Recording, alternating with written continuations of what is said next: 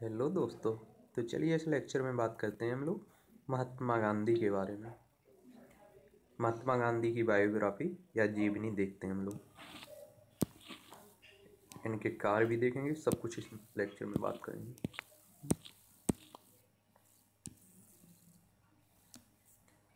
तो इनके जन्म की बात करें तो 2 अक्टूबर अठारह में पोरबंदर काठियावाड़ एजेंसी, अब गुजरात में है जो और इनकी मृत्यु हुई थी जो 30 जनवरी 1948 दिल्ली में। इनके कार्यों की बात करें तो स्वतंत्रता आंदोलन में सबसे महत्वपूर्ण भूमिका निभाई इन्होंने। महात्मा गांधी के नाम से मशहूर मोहन दास करमचंद गांधी भारतीय स्वतंत्रता आंदोलन के एक प्रमुख राजनीतिज्ञ थे। सत्याग्रह और अहिंसा के सिद्धांतों पर चलकर उन्होंने भारत की आज़ादी दिलाने में महत्वपूर्ण भूमिका निभाई। उनके इन सिद्धांतों ने पूरी दुनिया में लोगों को नागरिक अधिकारों और एवं स्वतंत्रता आंदोलन के लिए प्रेरित किया। उन्होंने भारत का उन्हें भारत का राष्ट्रपति, राष्ट्रपिता भी कहा जाता है। सुभाष चंद्र बोस ने 1944 में रंगून रेडियो से गांधी जी के नाम जारी प्रसारण में उन्हें राष्ट्रपिता कहकर संबोधित किया था। महात्मा गांधी समुच्चर मानव जाति के लिए मिसाइल हैं। उन्होंने हर परिस्थिति में अहिंसा और सत्य का पालन किया और लोगों से भी इसका पालन करने के लिए कहा। उन्होंने अपना जीवन सदाचार में गुजारा। वह सदैव परंपरागत भारतीय पोशाक, धोती व सूट से बनी साल पहनते थे। सदैव शाकाहारी भोजन खाने वाले इस महापुरुष ने आत्म शुद्धि के लिए कई बार लंबे उपवास भी रखे। 1915 में भारत वापस आने से पहले गांधी ने एक प्रवासी वकील के रूप में दक्षिण अफ्रीका में भारतीय समुदाय के लोगों के नागरिक अधिकारों के लिए संघर्ष किया। भारत आकर उन्होंने समुच से देश का भ्रमण किया। किसानों, मजदूरों और श्रमिकों को भारी भूमि, कर और भेदभाव के विरुद्ध संघर्ष करने के लिए एकजुट किया। सन 1921 में उन्होंने भारतीय राष्ट्रीय कांग्रेस की बागडोर संभाली और अपने कार्यों से देश के राजनीतिक, सामाजिक और आर्थिक परिदृश्य को प्रभावित किया। उन्होंने सन 1930 में नमक सत्याग्रह और इसके बाद 1942 में भारत छोड़ो आंदोलन से खासी प्रसिद्धि प्राप्त की। भारत के स्वतंत्रता संघर्ष के दौरान कई मौक़ों पर गांधी जी कई वर्षों ने जेल में भी रहे। अब गांधी जी के प्रारंभिक जीवन की बात करते हैं हम लोग। मोहन दास करमचंद गांधी का जन्म भारत में गुजरात के तटीय शहर पोरबंदर में 2 अक्टूबर अठारह सौ उनहत्तर में हुआ। उनके पिता का नाम था करमचंद गांधी, जो ब्रिटिश राज के समय काठियावाड़ की एक छोटी सी रियासत के दीवान थे। मोहनदास की माता का नाम था पुतली बाई परिणामी वैश्य समुदाय से ताल्लुक रखती थी। इनकी माता अत्यधिक धार्मिक प्रवृत्ति की थी, जिसका प्रभाव युवा मोहनदास पर पड़ा। और इन्हीं मूल्य ने आगे चलकर उनके जीवन में महत्वपूर्ण भूमिका निभाई। वह नियमित रूप से व्रत रखती थीं और परिवार में किसी के बीमार पड़ने पर उनकी, उसकी नियमित रूप से व्रत, सेवा में दिन रात एक कर देती इस प्रकार मोहन दास ने स्वाभाविक रूप से अहिंसा, शाकाहार, आत्मशुद्धि के लिए व्रत और विभिन्न धर्मों और पंथों को मानने वाले बीच परस्पर सहिष्णुता को अपनाया।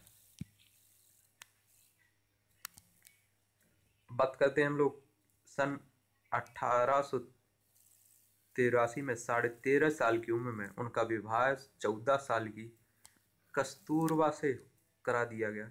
जब मोहनदास पंद्रह वर्ष के थे, तब इनकी पहली संतान ने जन्म लिया।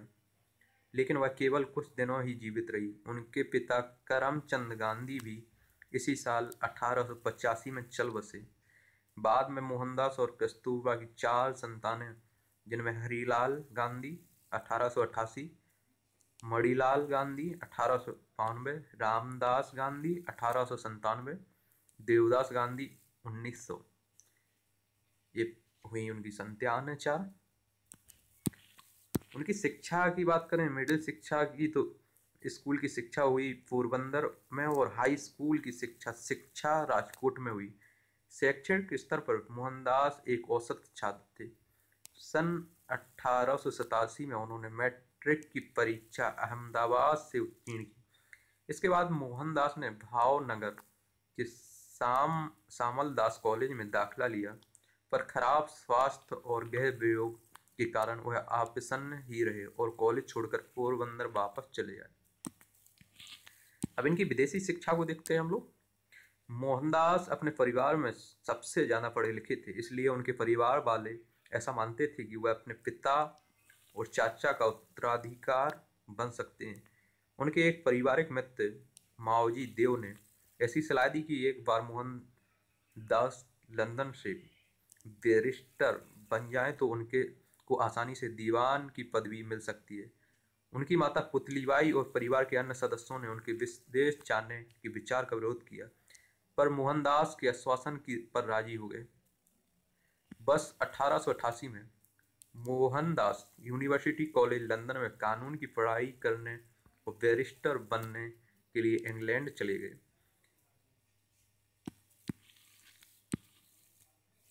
अपनी माता को दिए गए वचन के अनुसार ही उन्होंने लंदन में अपना वक्त गुजारा।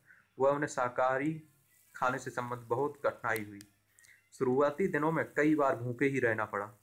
धीरे धीरे उन्होंने शाकाहारी भोजन वाले रेस्टोरेंट के बारे में पता लगाया। इसके बाद उन्होंने वेजिटेरियन सोसाइटी की स्थापना की। तो ये वेजिटेरियन सोसाइटी की सदस्यता भी ग्रहण कर ली। इस सोसाइटी के कुछ सदस्य थियोसॉफिकल सोसाइटी के सदस्य भी थे। उन्होंने मोहनदास को गीता पढ़ने का सुझाव दिया। आगे बात करते हैं, जून अठारह में गांधी भारत लौटे गए। वहाँ जाकर उन्हें अपनी माँ के मौत के बारे में पता चला। उन्होंने बॉम्बे में वकालत की शुरुआत की, पर उन्हें कोई खास सफलता नहीं मिली। इसके बाद वो राजकोट चले गए, जहाँ उन्होंने ज़रूरतमंदों के लिए मुकदमों की अर्जियाँ लिखने का कार्य शुरू कर दिया। परंतु कुछ समय बाद उन्हें यह काम भी छोड़ना पड़ा। आखिरकार अठारह सौ तिरानवे में एक भारतीय फार्म ने नेटल में एक वर्ष के करार पर वकालत का कार्य स्वीकार किया। अब गांधी जी की दक्षिण अफ्रीका की यात्रा देख लेते हैं। तो अठारह सौ तिरानवे से उन्नीस सौ चौदह। गांधी जी चौबीस साल की उम्र में दक्षिण अफ्रीका पहुँचे। वह पिटोरिया स्थित कुछ भारतीय व्यापारियों के न्यायिक सलाहकार के तौर पर वहाँ गए थे। उन्होंने अपने जीवन के 21 साल दक्षिण अफ्रीका में बिताए, जहाँ उनके राजनीतिक विचार और नेतृत्व कौशल का विकास हुआ। दक्षिण अफ्रीका में उनके गंभीर नस्ल भेदभाव का सामना करना पड़ा। एक बार ट्रेन में प्रथम श्रेणी की कोच की वैध टिकट होने के बाद तीसरी श्रेणी के डिब्बे में जाने से इनकार करने के कारण उन्हें ट्रेन से बाहर फेंक दिया गया। ये सारी घटनाएँ उनके के जीवन में महत्वपूर्ण मोड़ पर बन गई। मौजूदा सामाजिक, राजनीतिक अन्याय के प्रति जागरूकता का कारण बन गई। आगे देखते हैं हम लोग। दक्षिण अफ्रीका में भारतीयों पर हो रहे अन्याय को देखते हुए उनके मन में ब्रिटिश साम्राज्य के अंतर्गत भारतीयों के सम्मान तथा स्वयं अपनी पहचान से संबंधित प्रश्न उठने लगे। अफ्रीका में गांधी जी ने भारतीयों को अपने राजनीतिक और सामाजिक अधिकार के लिए संघर्ष करने के लिए प्रेरित किया।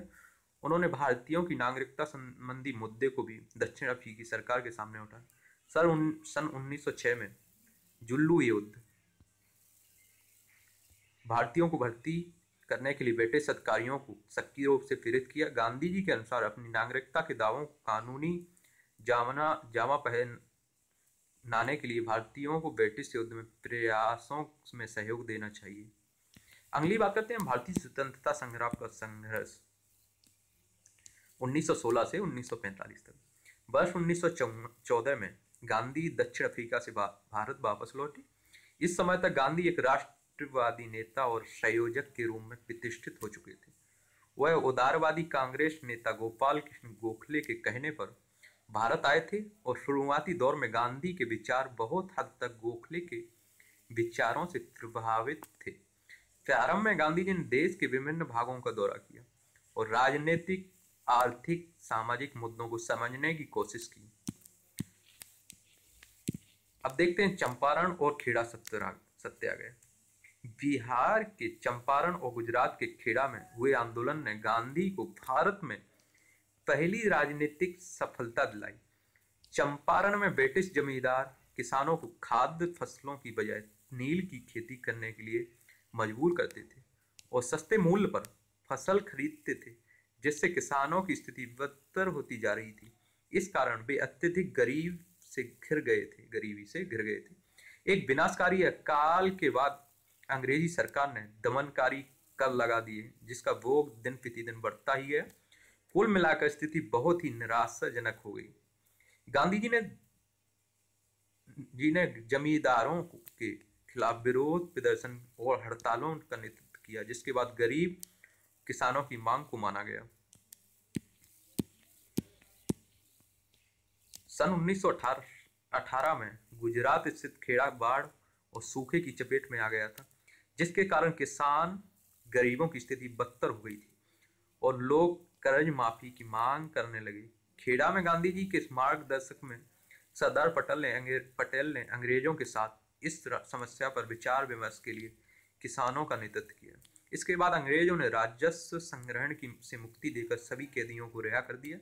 इस प्रकार चंपारण और खेड़ा के बाद गांधी जी ख्याति देश बन गए। देश भर में फैल गई। गांधी जी की ख्याति। वह स्वतंत्रता आंदोलन में एक महत्वपूर्ण नेता बनकर उभरे। अब खिलाफत की बात कर लेते हैं, खिलाफत आंदोलन। कांग्रेस के अंदर और मुस्लिमों के बीच अपनी लोकप्रियता बढ़ाने का मौका गांधी जी के, को खिलाफत आंदोलन के ज़रिए मिला।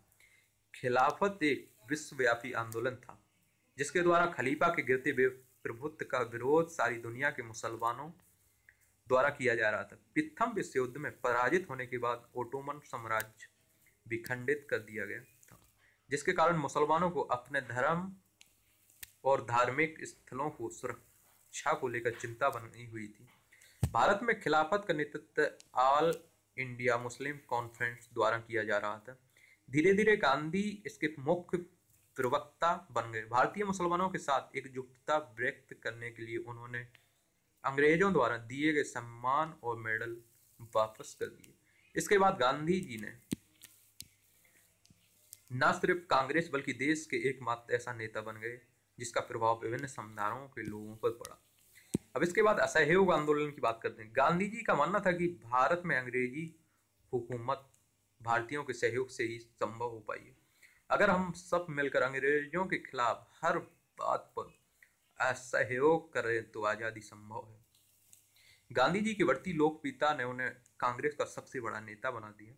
और अब वह इस स्थिति में थे कि अंग्रेज़ों के विरुद्ध असहयोग, अहिंसा और शांतिपूर्ण प्रतीक जैसे अस्त्रों का प्रयोग कर सकें। इसी बीच जलियावाला नरसंहार ने देश को भारी आघात पहुँचाया, जिससे जनता में क्रोध, हिंसा की ज्वाला भड़क उठी। गांधी जी ने स्वदेशी नीति का आह्वान किया जिसमें विदेशी वस्तुओं, विशेषकर अंग्रेज़ी वस्तुओं का बहिष्कार करना था, उनका कहना था कि सभी भारतीय अंग्रेज़ों द्वारा बनाए गए वस्तुओं की अपेक्षा हमारे देश, हमारे अपने लोगों द्वारा हाथ से बनाई गई खादी पहने। उन्होंने पुरुषों और महिलाओं को प्रतिदिन सूत काटने के लिए कहा। इसके अलावा महात्मा गांधी ने ब्रिटेन की शैक्षिक संस्थाओं और अदालतों का बहिष्कार, सरकारी नौकरियों को छोड़ने तथा अंग्रेज़ी सरकार से मिले तमगों और सम्मानों को वापस लौटाने की का अनुरोध किया। असहयोग आंदोलन को अपार सफलता मिली, जिससे समाज के सभी वर्गों में जोश, भागीदारी बढ़ गई। लेकिन फरवरी 1922 में इसका अंत चोरा चोरी चोरी चोरा कांड के साथ हुआ। इस हिंसक घटना के बाद गांधी जी ने असहयोग आंदोलन को वापस ले लिया। उन्हें गिरफ़्तार कर राजद्रोह का मुकदमा चलाया गया। जिससे उन्हें छह साल की सजा हुई। खराब स्वास्थ्य के चलते उन्हें फरवरी 1924 में रिहा कर दिया गया। अब गांधी जी का स्वराज और नमक सत्याग्रह देख लेते हैं। सहयोग आंदोलन के दौरान गिरफ्तारी के बाद गांधी जी फरवरी 1924 में रिहा हो गए। सन 1928 तक सक्रिय राजनीति से दूर ही रहे। इस दौरान वह स्वराज पार्टी और कांग्रेस के बीच मनमुटाव को कम करने लगे। में लगे रहे। इसके अतिरिक्त अस्पृश्यता शराब, अज्ञानता और गरीबी के खिलाफ भी लड़ते रहे। इसी बीच, अंग्रेज़ी सरकार ने सर जॉन साइमन के नेतृत्व में भारत के लिए एक नया संविधानिक सुधार आयोग बनाया, पर उसका एक भी सदस्य भारतीय नहीं था, जिसके कारण भारतीय राजनीतिक दलों ने इसका बहिष्कार किया। इसके पश्चात दिसंबर 1928 के कलकत्ता अधिवेशन में गांधी जी ने अंग्रेज़ी हुकूमत को भारतीय साम्राज्य को सत्ता प्रदान करने के लिए कहा। ऐसा न करने पर देश की आज़ादी के लिए असहयोग आंदोलन का सामना करने के लिए तैयार रहने के लिए भी कहा। अंग्रेज़ों द्वारा जवाब नहीं मिलने पर 31 दिसंबर उन्नीस को लाहौर में भारत का झंडा फहराया गया। कांग्रेस ने 26 जनवरी 1930 का दिन भारतीय स्वतंत्रता दिवस के रूप में मनाया। इसके पश्चात गांधी जी ने सरकार द्वारा नमक पर कर लगाए गए जाने के विरोध में नमक सत्याग्रह चलाया। जिसके अंतर्गत 12 मार्च से 6 अप्रैल तक अहमदाबाद से दांडी, गुजरात तक लगभग तीन सौ अठासी किलोमीटर की यात्रा इस यात्रा का उद्देश्य स्वयं लग नमक उत्पन्न करना था। इस यात्रा में हज़ारों संख्या में भाग, भारतीयों ने भाग लिया और अंग्रेज़ी सरकार को विचलित करने में सफल रहे। इस दौरान सरकार ने लगभग साठ हज़ार से अधिक लोगों को गिरफ़्तार कर लिया, जेल भेज दिया। इसके बाद लॉर्ड इरविन के प्रतिनिधित्व वाली सरकार ने गांधी जी के साथ विचार विमर्श करने का निर्णय लिया, जिसके फलस्वरूप गांधी इरविन संधि पर मार्च 1931 में हस्ताक्षर हुए। गांधी इरविन संधि के तहत ब्रिटिश सरकार ने सभी राजनीतिक कैदियों को रिहा करने के लिए सहमति दी इस समझौते के परिणाम स्वरूप गांधी कांग्रेस के एकमात्र प्रतिनिधि के रूप में लंदन में आयोजित गोलमेज सम्मेलन में भाग लिया। परंतु यह सम्मेलन कांग्रेस और दूसरे राष्ट्रवादियों के लिए घोर निराशाजनक रहा। इसके बाद गांधी जी फिर से गिरफ़्तार कर लिए गए और सरकार ने राष्ट्रवादी आंदोलन को कुचलने की कोशिश की। 1934 की बात करें तो 1934 में गांधी ने कांग्रेस की सदस्यता से इस्तीफा दे दिया। उन्होंने राजनीतिक गतिविधियों के स्थान पर रचनात्मक कार्यक्रमों के माध्यम से सबसे निचले स्तर से राष्ट्र के निर्माण पर अपना ध्यान लगाया। उन्होंने ग्रामीण भारत को शिक्षित करने, छुआछूत के खिलाफ आंदोलन जारी रखने, कताई, बुनाई और अन्य कुटीर उद्योगों को बढ़ावा देने और लोगों की आवश्यकताओं के अनुकूल शिक्षा प्रणाली बनाने का काम शुरू किया। इनका हरिजन आंदोलन देख लेते हैं महात्मा गांधी का। दलित नेता बी आर अंबेडकर की कोशिश के परिणाम स्वरूप अंग्रेज़ सरकार ने अछूतों के लिए नए संविधान के अंतर्गत पृथक निर्वाचन मंजूर कर दिया। येरवदा जेल में बंद गांधी जी ने इसके विरोध में सितंबर उन्नीस में छह दिन का उपवास किया और सरकार को एक समान व्यवस्था पूना पैक्ट अपनाने पर मजबूर किया। अछूतों के जीवन को सुधारने के लिए गांधी जी द्वारा चलाए गए अभियान की यह शुरुआत थी। 8 मई 1933 को गांधी जी ने आत्म शुद्धि के लिए 21 दिन का उपवास किया। हरिजन आंदोलन को आगे बढ़ाने के लिए के लिए एक वर्षीय अभियान की शुरुआत की। अंबेडकर जैसे दलित नेता इस आंदोलन में प्रसन्न नहीं थे। गांधी जी द्वारा दलित के लिए हरिजन शब्द का उपयोग की निंदा की गई। द्वितीय विश्व युद्ध की बात करें और भारत छोड़ो आंदोलन। द्वितीय विश्व युद्ध के आरंभ में गांधी जी अंग्रेज़ों को अहिंसात्मक नैतिक सहयोग देने के पक्षधर थे। परंतु कांग्रेस के बहुत से नेता इस बात से नाखुश थे कि जनता के प्रतिनिधियों के परामर्श के लिए बिना ही सरकार ने देश को युद्ध में झोंक दिया था। गांधी ने घोषणा की कि एक तरफ़ भारत को आज़ादी देने से इनकार किया जा रहा था, वहीं दूसरी तरफ़ लोकतांत्रिक शक्तियों की जीत के लिए भारत को युद्ध में शामिल किया जा रहा था। जैसे जैसे युद्ध बढ़ता गया, गांधी जी और कांग्रेस ने भारत छोड़ो, आंदोलन की मांग को तीव्र कर दिया। भारत छोड़ो आंदोलन का संघर्ष सर्वाधिक शक्तिशाली आंदोलन बन गया, जिसके व्यापक हिंसा और गिरफ्तारी हुई। इस संघर्ष में हज़ारों की संख्या में स्वतंत्रता सेनानी या तो मारे गए या घायल हो गए, या और हज़ारों गिरफ़्तार भी कर लिए गए। गांधी जी ने यह स्पष्ट कर दिया था कि वह ब्रिटिश युद्ध प्रयासों को समर्थन तब तक नहीं देंगे जब तक भारत को तत्काल आज़ादी ना दे दी जाए। उन्होंने यह भी कहा, कह दिया था कि व्यक्तिगत हिंसा के बावजूद यह आंदोलन बंद नहीं होगा। उनका मानना था कि देश में व्याप्त सरकारी अराजकता असली, अराजकता से भी खतरनाक है। गांधी जी ने सभी कांग्रेसियों और भारतीयों को अहिंसा के साथ करो या मरो, डू और डाई का साथ अनुशासन बनाए रखने को कहा।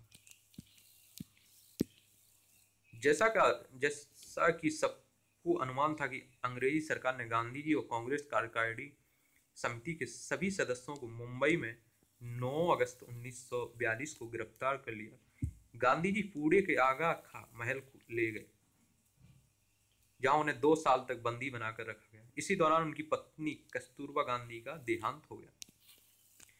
22 फरवरी 1944 को हो गया था इनकी कस्तूरबा गांधी का जन्म पत्नी का। कुछ समय बाद गांधी जी मलेरिया से पीड़ित हो गए।